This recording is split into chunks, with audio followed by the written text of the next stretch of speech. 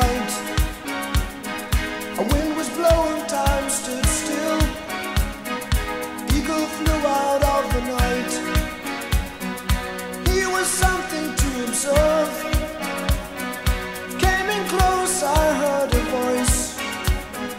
Standing, stretching every nerve. I had to listen, had no choice. I did not believe. I just had to trust imagination. My heart going